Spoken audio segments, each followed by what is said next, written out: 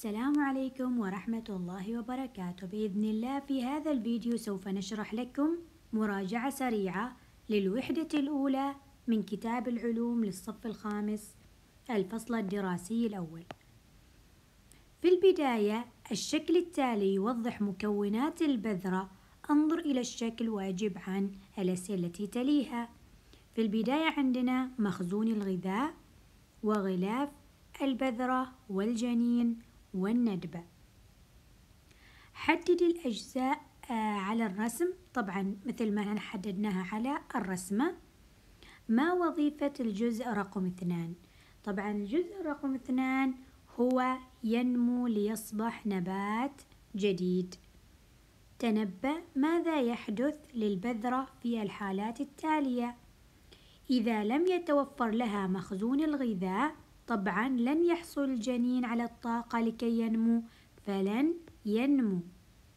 الجنين ميت لذلك لا تتحول البذرة إلى نبات جديد.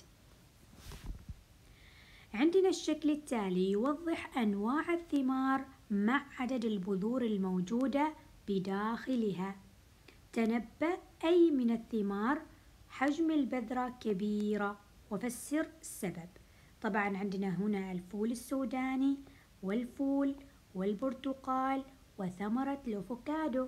طبعا هنا عندنا أقل شيء ثمرة الأفوكادو لأن عدد بذورها قليل. ما العلاقة بين عد البذور وحجمها في الثمرة؟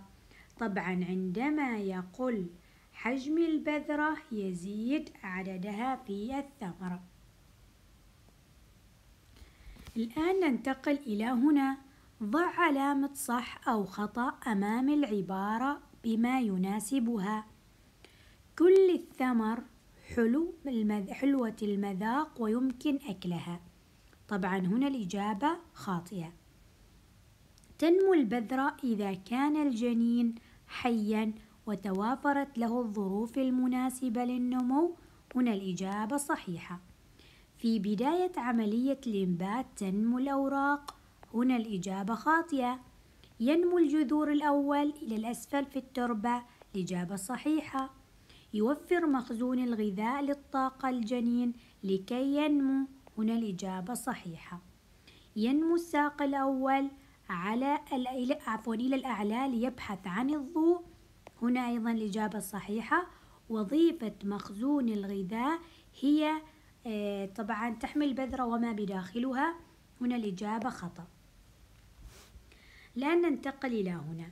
ما هو أول جزء ينمو من البذرة وإلى أين يتجه؟ طبعا عندنا الجزء الأول يتجه إلى الأسفل يتجه إلى الأسفل. كما نلاحظ إلى الأسفل. إلى أين يتجه الساق الأول في النمو؟ طبعا الساق الأول يتجه إلى ماذا؟ إلى الأعلى لماذا؟ ليبحث عن الضوء إلى أين تتجه الأوراق في النمو؟ طبعا للأعلى لتبحث عن ماذا؟ عن الضوء لصنع الغذاء ماذا يحدث للبذرة في نهاية عملية الإنبات؟ يقل حجم البذرة وتذبل لأنها تم استهلاك مخزون الغذاء في عملية الإنبات الآن ننتقل إلى هنا. تجري منى تجربة الاستقصاء عملية الإنبات استخدام بذور الفاصوليا كما موضح لكم. ما هو العامل الذي يتم اختباره في التجربة؟ طبعا يختبر ماذا؟ الهواء. هنا بذور بدون هواء وهنا آه، بدون هواء. آه، طبعا البذور معرضة للهواء وهنا بذور أيضا معرضة للهواء. بعد ثلاث أيام تنمو البذور المعرضة للهواء ولكن هذه لا تنمو. ماذا استنتجت منى في نهاية الاستقصاء؟ طبعا أن الهواء آه، هو مهم لعملية الإنبات. أذكر العوامل اللازمة لعملية الإنبات طبعا الماء والهواء والدفء. عندنا أهمية كل آه، كل عامل عامل الضوء لصنع الغذاء في الأوراق. عندنا الماء لنمو الساق قوي وأوراق ثابتة. عندنا أيضا الهواء للتنفس. أيضا عندنا الدفء لكي ينمو النبات أفضل. آه، عندنا في هذا السؤال ما هي العوامل اللازمة لإنبات آه، النبات؟ طبعا عندنا الماء الهواء الضوء والدفء الآن ننتقل إلى هنا. ما اسم الأجزاء التالية؟ اسم الأجزاء التالية عندنا هنا هذا الجزء يسمى المبيض. آه، وهذا الجزء يسمى ماذا؟ الكربلة. وهذا الجزء يسمى القلم. وأيضا الجزء رقم أربعة يسمى البتلات. والجزء رقم خمسة الميسم. والجزء رقم ستة المتك وعندنا رقم سبعة اللي هي السداة ورقم ثمانية السبلات. رقم ثمانية السبلات. الشكل التالي يوضح أجزاء الزهرة صل بين كل جزء واسمه. طبعا وظيفة رقم واحد وظيفة رقم واحد هي ماذا؟ إنتاج البويضات. أما رقم رقم أربعة هنا لها لون زاهي وجذاب للحشرات لعملية التلقيح. ورقم خمسة استقبال حبوب اللقاح في عملية التلقيح. ورقم ستة إنتاج حبوب اللقاح. وأخيرا رقم ثمانية حماية برعم الزهرة أو الزهرة. أكمل العبارات التالية.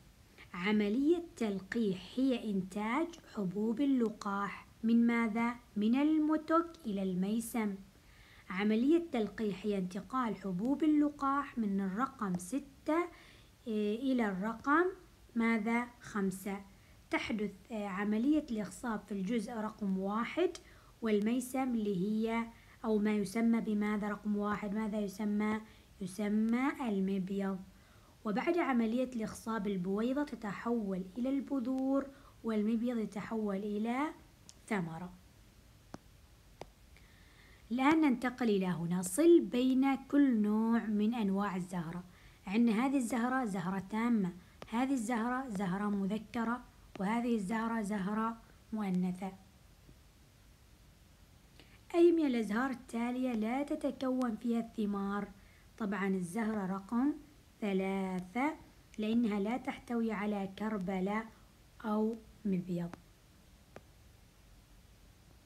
عندنا هنا كيف يتم تلقيح الزهرة واحد والزهرة اثنين؟ طبعا الزهرة واحد الزهرة واحد عن طريق الرياح لأنها غير زاهية الألوان ولا يوجد بها رائحة جميلة. أما الزهرة رقم اثنين عن طريق الحشرات لأن لها ألوان جميلة وجذابة وتنتج الرحيق. الآن ننتقل إلى دورة حياة النبات لماذا نرسم حياة النبات بالشكل الدائري؟ لماذا؟ لأنها متكررة ولا تتوقف اكتب مراحل دورة النباتات كما يوضحها الشكل النبات نبات البذور تعطي نبات جديد ومن ثم ينمو النبات الجديد ويتحول إلى نبات ناضج ومن ثم تنمو الأزهار التي تحدث فيها عملية التلقيح والإخصاب وتكون الثمار التي تحتوي على البذور ثم تنشر البذور وتنبت من جديد. هذا هو ملخص الوحدة الأولى من كتاب العلوم للصف الخامس. أتمنى نشر هذا الفيديو لطلاب الصف الخامس لتعم الفائدة وكذلك الاشتراك في القناة ووضع لايك لهذا الفيديو.